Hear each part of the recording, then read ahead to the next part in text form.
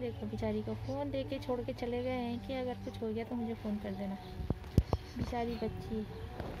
ये देखिए, अकेले कार में बेचारी को एक बॉल दिया है और मोबाइल छोड़ के चले गए हैं और थोड़ा सा खाना छोड़ के गए हैं कि अगर भूख लगेगी तो खाना खा लेना, बारिश पड़ेगी तो छाता ओढ़ लेना और बात करनी तो फ़ोन कर लेना और खेलने का मन लगे तो फुटबॉल खेल लेना।